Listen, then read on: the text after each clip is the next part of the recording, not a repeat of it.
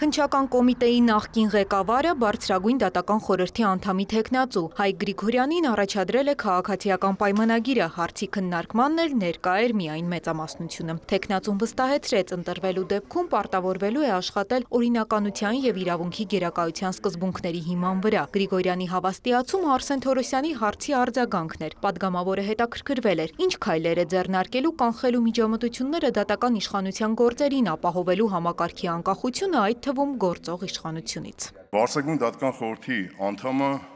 ունի մեկ եղանակ ներազդելու այդ թվում նաև միջամտություններին, դատաքննությունների ընթացքում տեղի ունեցած, դա արդար քվեարկությունն է, արդար քվեարկության միջոցով եւ այո, այն բոլոր դեպքերում, երբ որ դատավորների ընդհանուր ժողովի էթիկայի եւ կարգապահական հարցերի հանձնաժողովի կամ լիազոր մարմնի կամ կոռուպցիայի կանխարգելման հանձնաժողովի կողմից կհարուցվեն կարգապահական վարույթներ եւ կներկայացվեն Բարսագույն դատական խորհուրդ քննարկման միանշանակ արդար քվեարկության միջոցով օրինականության եւ իրավունքի գերակայության սկզբունքով օգտագործելով իմ ձայնը քվեարկելու եմ անաչառ իշահ իրավունքի գերակայությանը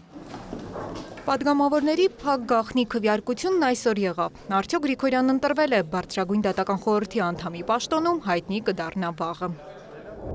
Օրակարգային ամենամեծ փաթեթներից մեկը ֆիզիկական անձանց եկամուտների համընդհանուր հայտարարագրման համակարգի ներդրմանն էր վերաբերում։ Երկար քննարկված փաթեթն առաջին ընթերցման է ներկայացվել, գործարկման սկիզբը նախանշվել հունվարի 1-ը։ Նոր փոփոխությունը ներդրվելու է աստիճանաբար 3 տարում։ 23-ին իրենց բոլոր եկամուտները պետության արչև բաց ներկայացնելու պարտավորություն կունենան պետական համայնքային ծառայողները, հանրային պաշտոն զբաղեցնողները, նոտարները, 2022-ի տվյալով 1 միլիարդ դրամ եւ ավելի եկամուտ ունեցողներն ու նրա նրանք, ովքեր 20 միլիոն դրամ կամ ավելի փոխառություն են ստացել։ 2024 թվականի համար նախատեսվում է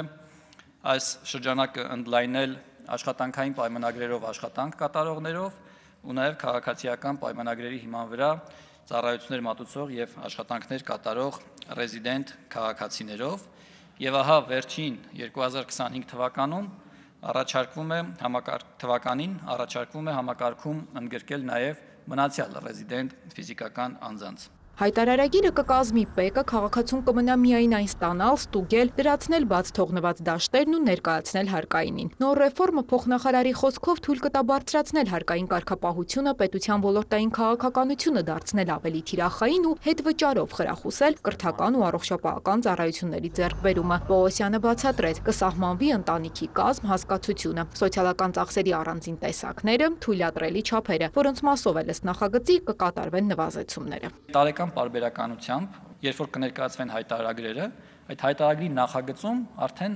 հայտարարտուն կտեսնի իր համար կատարված ծախսը արտացոլված եւ նվազեցված հարկման բազայից։ Եվ եթե օրինակ տարվա ընթացքում հայտարարտուն չի ստացել այնպիսի լրացուցիչ եկամուտներ, որոնք հարկվող են, սակայն հարկային գործակալի կողմից չեն հարկվել,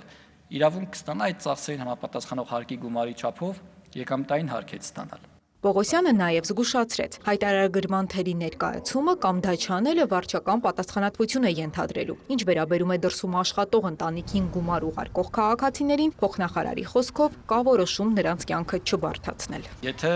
մեր ռեզիդենտ քաղաքացիները արտերկրից ստանում են տարեկան մինչև 12 միլիոն դրամ չափով եկամուտներ, ապա այդ քաղաքացիներից ընդհանրապես չի պահանջվելու ներկայացնել այդ եկամուտներից արտերկրում վճարված հարկի մասին տեղեկանքը։ Ընդհանուր կարգավորումների համաձայն, այսինքն եթե այդ բացառությունը չնախատեսվեր,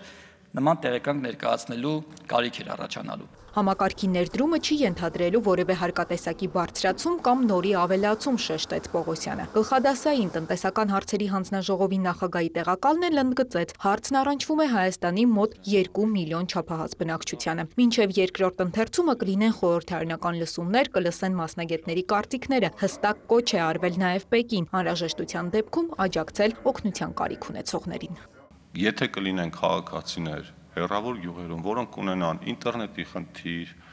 լեզվի խնդիր, տեղեկացվածության խնդիր, գիտելիքի խնդիր, պիտի պատրաստ լինենք մենք այդ բոլոր քաղաքացիներին աջակցել, որպեսզի իրանք կարողանան այդ հայտարարագիրը լրացնել։ Եվ այդ հայտարարագիրը